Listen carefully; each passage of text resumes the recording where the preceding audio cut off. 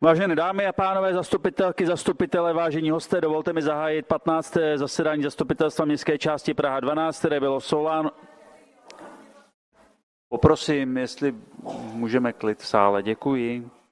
Které bylo svoláno v souladu s ustanovením paragrafu 87 odstavce 3 a paragrafu 60 odstavce 1 zákona číslo 131 lomeno 2000 sbírky o hlavním městě Praze ve znění pozdějších předpisů a článkem 3 odstavce 1 jednacího řádu zastupitelstva městské části Praha 12.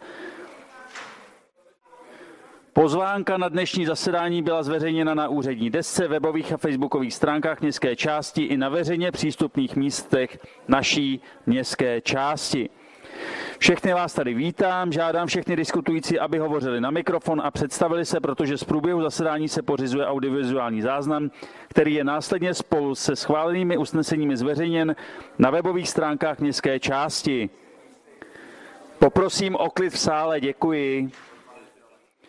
Rovněž všechny zastupitelky a zastupitele a všechny diskutující žádám, aby dodržovali zásady ochrany osobních údajů v souladu s příslušnými právními předpisy, s ohledem na GDPR nebudou jména interpelujících řečena na záznam ani nebude jméno, jejich jméno zobrazeno na obrazovce.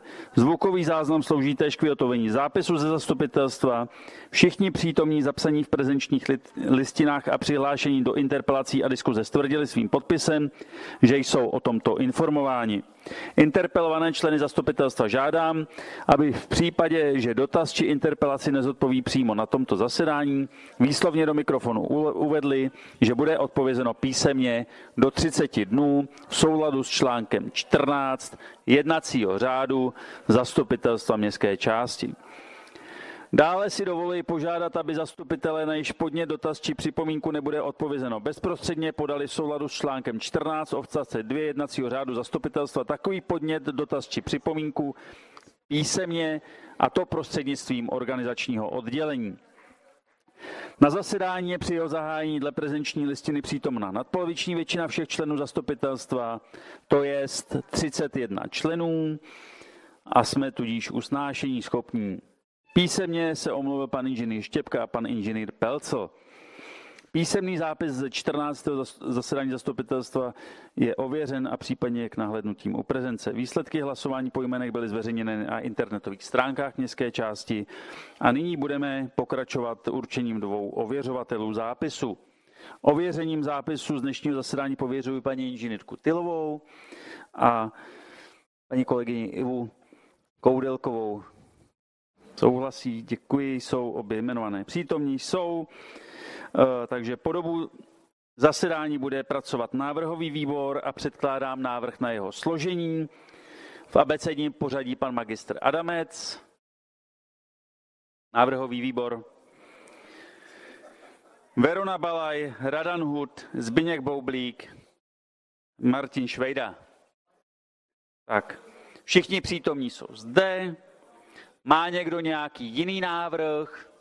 Není tomu tak, proto přistoupíme k hlasování. Tak pojďme hlasovat o složení návrhového výboru. Každý svoje zařízení. Kdo je pro, proti, zdržel se. Tak pro 26, proti 0, zdržel se 1, 3 nehlasovali. Návrhový byl, výbor byl schválen. A nyní Eh, pojďme k návrhu programu. Za prvé zahájení volba návrhového výboru schválení programu, za druhé Sofijské náměstí, za třetí dotazy, připomínky, podněty, za čtvrté závěr.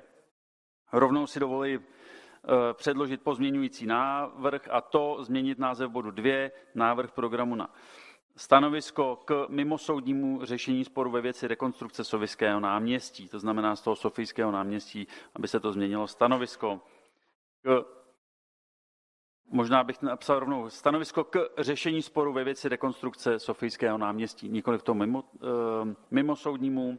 Má někdo nějaký další návrh? Technická Honza Adamec? Jo, Jan Adamec, Piráti Praha 12. Uh, eh, mám pocit, že to teda není vysílaný online, že jo? Ne. A přitom by, by podle jednacího řádu mělo. Nechcete si schválit změnu jednacího řádu, jakože to není online, aby to bylo podle správného jako procesu? Že takhle vlastně porušujeme jednací řád? Tak v jednacím řádu... Takže po, schvál, po, po schválení programu. Protože zatím ještě schválení programu vznik, začíná zastupitelstvo. No, takže teď... jako teďka by to mělo být online, že jo? Ale jako, jakože v, v, zastup, vždycky je zastupitelstvo přenášení od začátku, ne? Až od schválení programu. Sorry, jako... Tak to schválte, ne? Jako, tak já nevím. tak eh, poprosím pana magistra Kojša, ať nám poradí tady za právní oddělení, respektive za organizační, pardon. Dobrý večer, dámy a pánové. Kojš, vedoucí kanceláře městské části. Eh, já odpovím panu magistrovi přímo. Tady se už stejně dávno nedělá to, co by se mělo, že by se mělo mluvit prostřednictvím předsedajícího, tak teda přímo panu magistrovi. Eh, podmínka veřejnosti ze strany zastupitelstva je splněná. Jednací řád vám dává určitá pravidla, jak byste, nebo jak jste si odhlasovali, že budete postupovat. To, že se to v 90% nedržuje, to je otázka za váma obecně. Takže myslím, že trvat na uh, doplňkové, doplňkové nadstavbě, kterou si zastupitelstvo jenom vzhledem nějaké moderní době tady odhlasovalo, oproti tomu, co je podstatou toho zastupitelstva jako takového, ve chvíli, kdy zastupitelstvo ještě oficiálně nezačalo, je otázka, co je, co je důležitější. To si musíte říct sami. Já se zeptám rovnou. Eh, máme v jednacím řádu, že zastupitelstvo se přenáší online? Ano. Tak potom musíme schválit výjimku. Ano, po schválení programu. Tak eh, Vojtěch Mikoláš, technickou. Jo, já si myslím, že to je úplně jedno. Já bych to prostě odhlasoval už teďka. Jestli o tom chceme hlasovat potom, to jsme se shodli, že o tom chceme potom hlasovat, tak zastupitelstvo bylo zahájený. Na magistrátu o tom programu jednáte třeba pět hodin a tý, tý, ta diskuze je tam určitě květná. Takže já bych s dovolením dal procedurální návrh na to, aby toto zastupitelstvo nebylo přenášeno online. V tuto chvíli bych o tom hlasoval. A to z důvodu probíhajícího soudního sporu. Takže jestli můžete připravit teda uh, usnesení. Jako procedurální návrh, ale stejně by se tady měl zobrazit. Takže kdo je pro, proti, zdržel se, aby uh, jednání zastupitelstva nebylo přenášeno online vzhledem k probíhajícímu soudnímu sporu. Tak pro 19, proti 6, zdržel se 4, eh, pro 20, proti 6, zdrželo se čtyři, jeden nehlasoval, mění se nám to každou chvíli. Každopádně to bylo schváleno. A teď pojďme eh, k návrhu eh, programu, takže tu úpravu změnu Pozměňující návrh stanovisko k řešení sporu ve věci rekonstrukce Sofijského náměstí jsem předkládal. Otevírám rozpravu k programu. Petr Hůla. Eh, dobrý večer, Petr Hůla. Já tam to moje jméno tam ještě přetrvává před tím, před hlasováním. Jenom jsem chtěl upozornit, když už to slovo mám, eh, bylo schváleno, že se nebude jednání eh, přenášet online, nicméně je veřejné, tak jako jaký to má potom význam. Mně to přijde úplně zbytečné. Tak eh, děkuju. Má, eh, má to eh, význam v tom, že eh, to, co zazní tady v té místnosti, tak předpokládám, není nahráváno jako veřejností a kdyby tady náhodou někdo chtěl říkat argumenty ve soudním sporu, které poškodí městskou část, tak aspoň se tady jako dá dedukovat, kdo je přítomen a kdo není přítomen. Technická Jan Adamec. Tak já se jenom chci zeptat, jestli teda bude i doslovní zápis, protože když to budeme ano. debatovat, takže jenom chci říct, odpovědět na tvou otázku, doufám, že nebude, tak ve skutečnosti teda bude. Jako Zápis všechno, toho bude. Všechno, co se řekne, tak bude napsaný a každý to může zjistit. Ano, Jenom jako... akorát, že to nebude mít někdo teď přenášeno jo. třeba protistrana přímo domů eh, do obýváku. Tak bude si to muset dohledat potom v zápise. Eh, k návrhu programu eh, nic, jenom ten pozměňující teda návrh za předkladatele, že by bod 2 eh, se nemenoval jenom Sofijské náměstí, ale stanovisko k řešení sporu ve věci rekonstrukce Sofijského náměstí. A potom eh, celý tedy program zahájení, volba návrhového výboru, schválení programu, dvojka, jaký jsem říkal, trojka, dotazy, připomínky, podněty, za čtvrté závěr. Nejsou tam. Takže eh, Nejprve, pane magistře, o, o té změně hlasovat to návrhu té dvojky, to znamená, kdo je pro, aby se ten bod dvě přejmenoval na stanovisko k řešení sporu ve věci rekonstrukce Sofijského náměstí. Tak až nám to pípne, můžeme hlasovat. Kdo je pro, proti, zdržel se. Tak 29 pro, proti 0, zdržel se jeden, jeden nehlasoval. Toto bylo přijato a teď pojďme tedy hlasovat o programu jako celku, protože návrhový výbor neobdržel žádný jiný návrh. To znamená za jednička zahájení volba návrhového výboru schválení programu. Za druhé stanovisko k řešení sporu ve věci rekonstrukce Sofijského náměstí. Za, tři, za třetí dotazy, připomínky, podněty. Za čtvrté závěr. Tak pojďme hlasovat, kdo je pro, proti, zdržel se. Moc rychlý. Pro, proti, zdržel se. Hlasujeme o celém programu.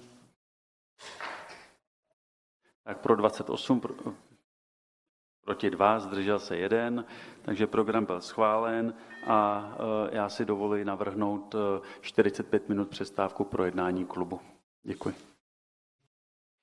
Rybářová občanská demokratická strana prosím o další 45 minut po akci po 12 minutách 55 třech vteřinách, aby jsme prodloužili o 45 minut, to znamená v 17 hodin 20 by mělo začít jednání zastupitelstva. Diskuze je velká v 19, v 19, v 19.20. Omlouvám se veřejnosti, který tam, se, který tam sedíte, ale budete to muset s náma vydržet, protože ta diskuze je velmi bujará. Takže zahájení zastupitelstva v 19.20.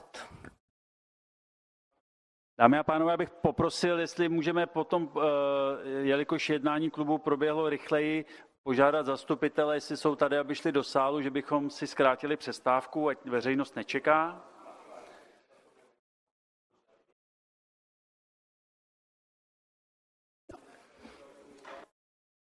Poprosím, jestli můžeme zpátky do zastupitelských lavic. Koukněme se, kteří sousedé nám chybí, abychom je pozvali zpátky. Takže eh, předpokládám, že nás je eh, více jak 18, což vidím, eh, že ano. Můžeme tedy pokračovat v jednání zastupitelstva a do diskuze jsme v bodě dvě, které se týká stanoviska k Sofijskému náměstí. A za občany máme přihlášen pana Tomáka, takže poprosím pan vystoupil. Dobrý večer, jmenuji se Tomáš Korálek a byl jsem tady zastupitelem v minulém volebním období. A jelikož jsem zpracovával některé podklady pro kontrolní výbor ohledně Sofijského náměstí, tak jsem se rozhodl tady dneska vystoupit, protože když jsem včera četl příspěvek Pirátů na Facebooku, tak jsem si říkal, že by bylo docela dobrý si osvěžit v průběh vůbec eh, výstavby tohohle náměstí. Začalo to docela zajímavým způsobem, když eh, do výběrového řízení se přihlásily čtyři firmy, z ničeho nic tři odstoupily, vyhrála ta nejdražší, s cenou, která tenkrát, já už si přesně nepamatuju, byla těsně nějak kolem 30 milionů. A první, byl to teda vlastně ten nejvyšší cena, jinak by muselo být výběrové řízení zrušeno. Takže tenkrát to začalo tímhle způsobem. Projekt, který připravilo vlastně před, ještě předtím to vedení za ANO, ČSSD, Eh, tak tento projekt byl z neznámých důvodů seseká nějakým způsobem, aby se ušetřilo. Eh, byly změněny některé eh, povrchy a tak dále. Takže tohle začalo tímhle způsobem být vlastně start do nešťastné vlastně celé rekonstrukce tohoto náměstí. Problém tam byl, samozřejmě to vidíte všichni, projektant, který za 150 nebo za 160 tisíc tenkrát dělal průzkum před projektovou dokumentací.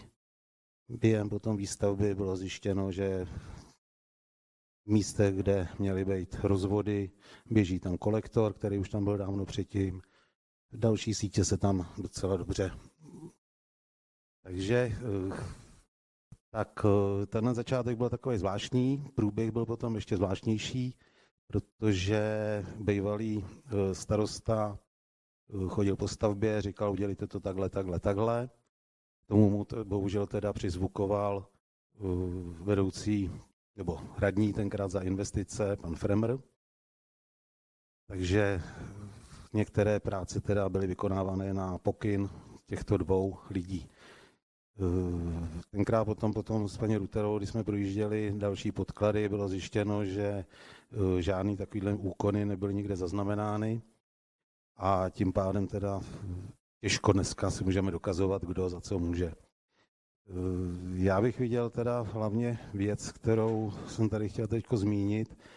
Eh, celá rekonstrukce má vlastně vyníky na všech stranách. První samozřejmě úředníci, kteří připravovali tenkrát výběrové řízení a podklady. Eh, podklady byly tak špatně udělané, že tam říkám, chyběly rozvody ve výběrovém řízení elektriky, Eh, věci, které tam měly být, nebyly, proto jako ta cena ze 30 milionů vylezla potom na 50 milionů. Další věc, technický dozor nekontroloval pořádně práce. Projektant, aniž by eh, někde cokoliv si nechal odsouhlasit, dělal změny, které potom zapomněl dát i do, eh, při kolaudaci do změn a samozřejmě stavební firma, která se měla držet stavebního povolení a projektu, nedodržovala tyhle ty základní věci. Myslím si, že v minulém volebním období hlavně kontrolní výbor se tomu věnoval poměrně eh, často a poměrně hodně, takže pokud by se, jste se ještě k tomu chtěli vrátit, je, je to dohledatelný určitě na uh, stránkách. Všichni víme teda, samozřejmě, že celá rekonstrukce byla velmi nešťastná. Do dneška jako nevíme, kam zmizely ty peníze, které vždycky říkali Piráti, že ušetřili za změnu teda materiálu. Víme, že materiál teda potom byl skládán i na náměstí, byly z toho dělané prvky, po kterých dneska nevím. Jsou to zvláštní věci. Takže jenom říkám, chtěl jsem trošku připomenout, jakým způsobem to tenkrát bylo vedený. Mám pocit, že tenkrát v té době, kdy eh, tady vládli Piráti a snažili jsme se tenkrát z opozice dělat nějaké kroky k tomu, aby došlo k nápravě, tak bohužel k tomu nedošlo. Dneska je ta situace taková, jaká je. Děkuji. Tak eh, za občany nikdo přihlášen není a já dávám procedurální návrh, to, abychom přerušili jednání zastupitelstva nejpozději do 30.11.2024. Je to z toho důvodu, že se potřebují dopracovat některé analýzy ve věci vedení toho soudního sporu a e, ty bychom potom zastupitelům předložili. E, ten termín, protože jednací řád e, říká, že má být svolán do 14 dnů, ale věřím, že hlasováním zastupitelstva se můžeme dohodnout na tom, že nejpozději do 30.11., protože my nevíme, kdy ty analýzy budou dopracovány. Na druhou stranu nás čeká to soudní stání. Takže procedurální návrh na přerušení jednání zastupitelstva do nejpozději 30.11.2024. Tak eh, prosím, abychom, až nám to pípne, hlasovali, kdo je pro, proti, zdržel se. Tak eh, pro 27, proti 28 proti 0, zdržel se jeden, jeden nehlasoval. Děkuji a tímto jednání zastupitelstva přerušeno. Hezký večer, dobrou noc.